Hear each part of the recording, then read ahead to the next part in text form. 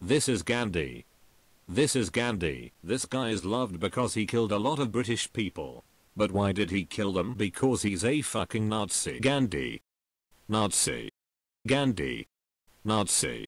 Gandhi. Nazi. Gandhi. Nazi. Gandhi. Nazi. Do you need more proof? Fuck you. He was born in Russia. Gandhi was raised by a cow. Being raised by a cow was not easy. Imagine milking your mother every morning.